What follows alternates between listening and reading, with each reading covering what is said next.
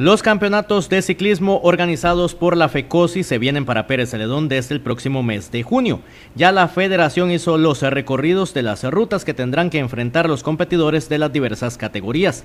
El 17 de junio se correrá una crono en la categoría infantil, prejuvenil y juvenil. Y un día después estas tres repetirán, pero en una prueba de ruta. De parte de la federación ya vinieron a hacer los recorridos, ya, ya hicieron la medición de las rutas respectivas. Entonces este, pues enhorabuena y el 17 de junio ya empezamos con, con lo que son las categorías eh, inferiores, de juveniles, infantiles y algunas de juveniles.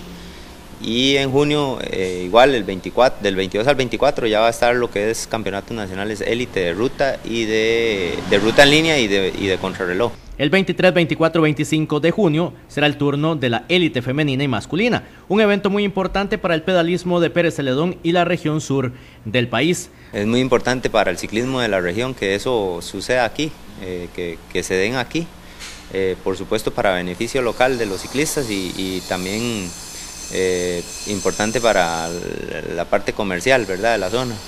Eh, Estamos a la espera de que la municipalidad nos ayude por medio del comité cantonal. Los recorridos están establecidos y tocarán Pérez Celedón y el cantón de Buenos Aires de Punta Arenas. El recorrido, digamos, va, lo que son las contrarrelojes individuales, van a salir desde Santa Marta de Buenos Aires, eh, la grande, ¿verdad? La, la, la, la categoría élite y las categorías inferiores eh, se vienen un poquito más acá porque el kilometraje es inferior y van a venirse hasta la zona de General Viejo, ¿verdad?